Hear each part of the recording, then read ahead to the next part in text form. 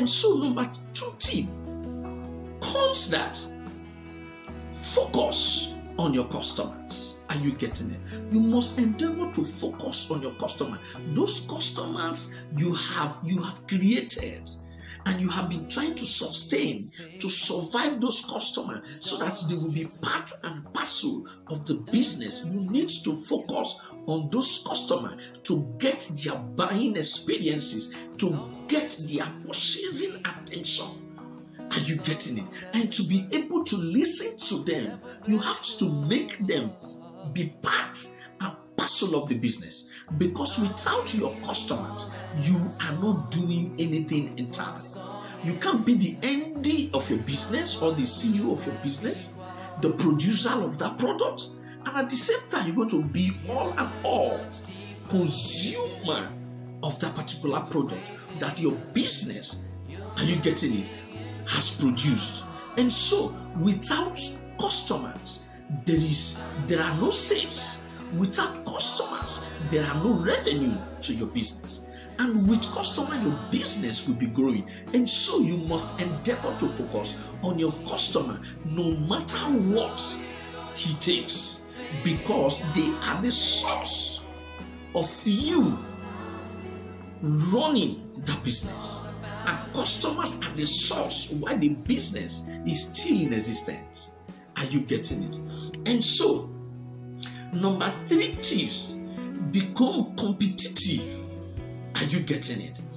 For you to stand out among the thousands of the same business that you are doing, you must have to be competitive.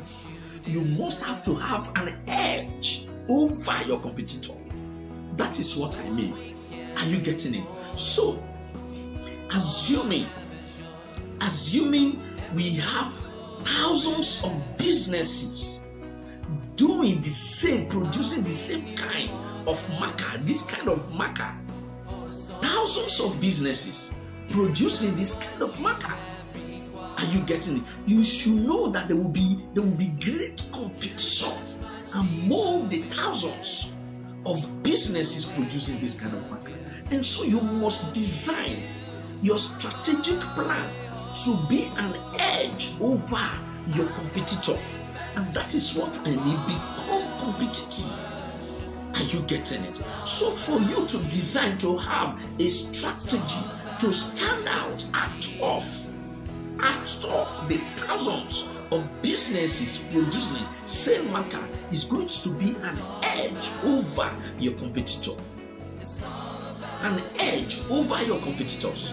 And you, your product will be known because you are more competitive compared to your competitors. Are you getting it? So it is a tip for you to grow your business.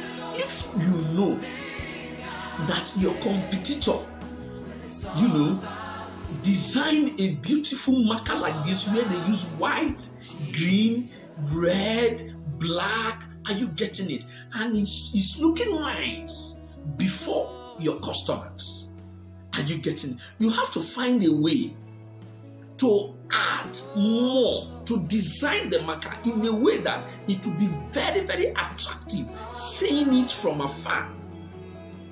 Are you getting it? Seeing it from afar. And so you have to do market survey, market analysis. Are you getting it? For you to know that yes, this is what your customers are interested in. It makes you, it gives you an edge over your competitor.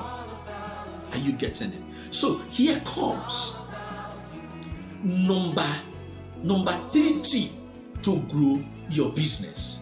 Are you getting it? Focus. Focus on income and expenses. Focus on income and expenses. For you to grow your business, you have to take this point very serious and important because if you don't have the, the, the, books of your business, you are not going to know how much you have invested and how much you are making at the end of every month. See, as a business person, I am advising you that the account of your business should be prepared on monthly basis, especially payables and receivables. As far your business is concerned, you must know how much you have spent and how much you are receiving. It means money you paid out and money that is coming in. You have to know. For example, if you, know, you have is, the is, uh, cost of you producing one of my favorite songs. this marker is five dollars. and the, the, the, the, the, that is the cost of production. then what you are now making from this particular marker is not up to five dollars. it means you are not doing anything. you should be making you should be making over three dollars are you getting it? Yes, you should be making that because you are not going to manage your business very well.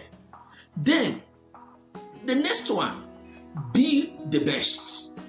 Be the best in your business. And you have to find a way, which is the last point, how to measure success in your business. Thank you.